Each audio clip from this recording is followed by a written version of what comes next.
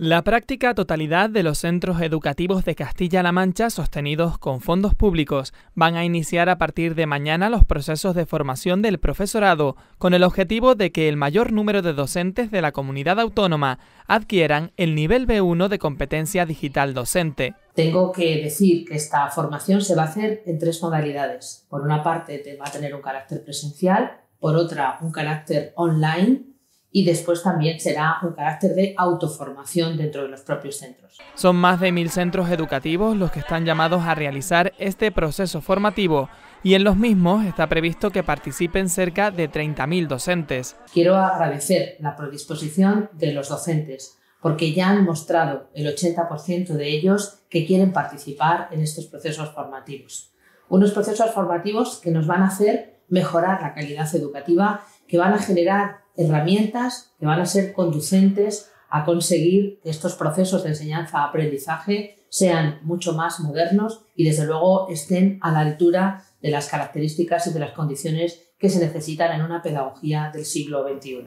Rodríguez ha indicado que este plan de formación forma parte de las acciones contempladas en el Plan de Digitalización Educativa de Castilla-La Mancha, una estrategia que está dotada con más de 70 millones de euros y que contempla tres objetivos seguir reduciendo la brecha digital del alumnado facilitando dispositivos y conectividad, renovar y ampliar la dotación tecnológica de los centros públicos y mejorar la competencia digital del alumnado, del profesorado y de los propios centros educativos. El Consejo de Gobierno de Castilla-La Mancha ha dado el visto bueno al proyecto de ley de diversidad sexual y derechos LGTBI de Castilla-La Mancha, paso previo a su envío y su aprobación en las Cortes Regionales, algo que previsiblemente sucederá durante el segundo trimestre de 2022, tal y como ha informado la consejera de Igualdad y portavoz Blanca Fernández. Era una deuda histórica la que manteníamos con el colectivo un colectivo que ha sufrido discriminación, violencia e invisibilidad durante muchísimos años y todavía hoy, en el siglo XXI, necesitan de la protección de sus derechos. Y precisamente lo que pretendemos hacer con esta ley no es otra cosa que garantizar sus derechos, los derechos humanos y constitucionales, porque esta ley es un desarrollo de la Constitución para garantizar la igualdad real, la igualdad de oportunidades, la igualdad efectiva y el derecho a la no discriminación por tu orientación o tu identidad sexual. La consejera ha recordado que se viene trabajando en esta ley de la mano de la ciudadanía desde hace meses. Y es una norma que además de estar muy participada, que puede decirse que ha surgido de la ciudadanía, también está muy bien armada jurídicamente. Eh, no puedo dejar de decir que llevamos trabajando en ello desde el principio de la legislatura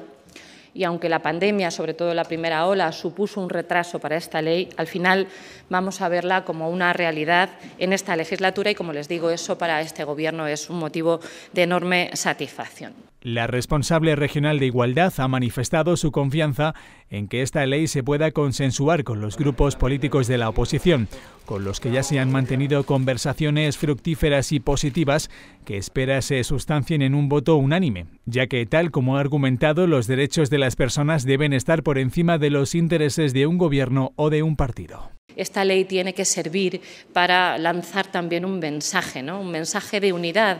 un mensaje de que en Castilla-La Mancha eh, no solamente estamos preparados para respetar a la diversidad sexual o a las personas en cuanto a su diversidad sexual, sino que estamos obligados y obligadas a protegerles.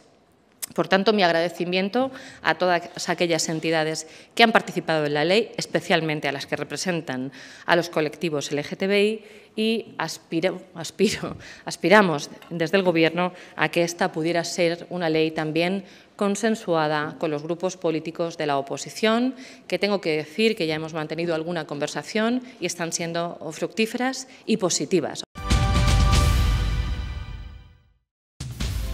El Ayuntamiento de Consuegra ha convocado para cubrir en propiedad dos plazas de administrativo de Administración General vacantes en la plantilla de personal funcionario. El plazo de presentación de solicitudes será de 20 días hábiles a contar desde el día 21 de febrero, día de la publicación de esta resolución en el Boletín Oficial del Estado. Las bases de participación, así como el resto de la información, puede consultarse en la página web del Ayuntamiento de Consuegra. El Ayuntamiento de Yuncos continúa mejorando los espacios municipales y esta semana ha concluido el cerramiento de la pista de frontón. También se está arreglando el acerado de la calle Cervantes y además se está llevando a cabo la instalación de más contenedores de basura en las zonas con más vecinos o locales comerciales como refuerzo a la limpieza del municipio. La Concejalía de Cultura del Ayuntamiento de Madridejos convoca el concurso de jóvenes saxofonistas Villa de Madridejos 2022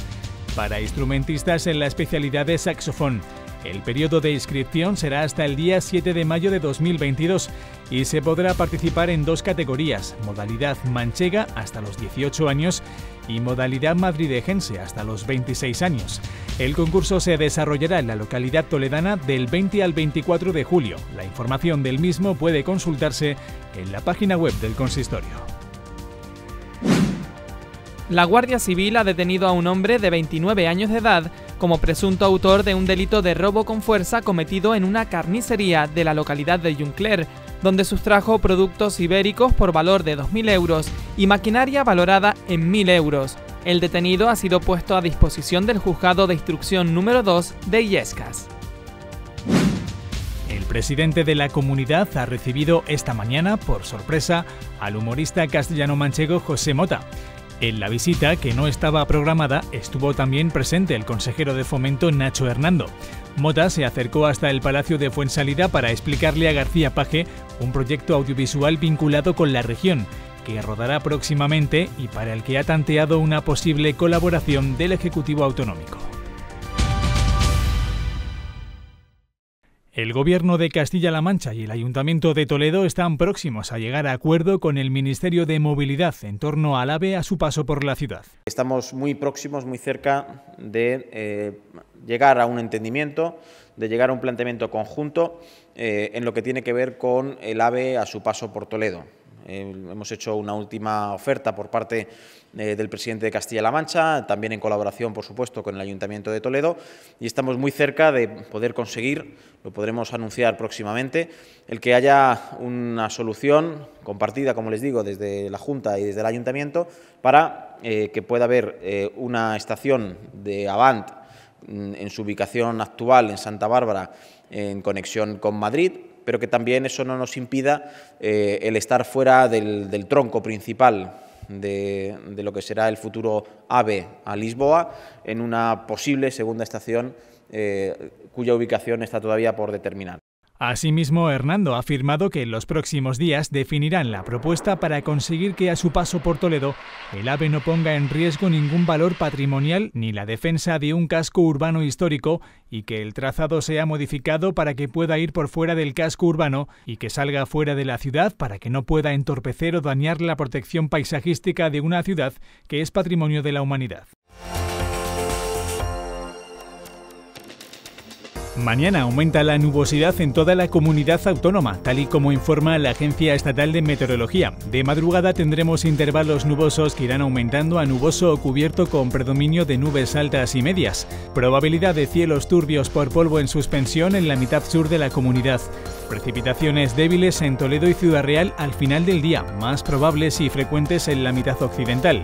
Heladas débiles y dispersas en zonas altas de la Ibérica. Vientos flojos variables.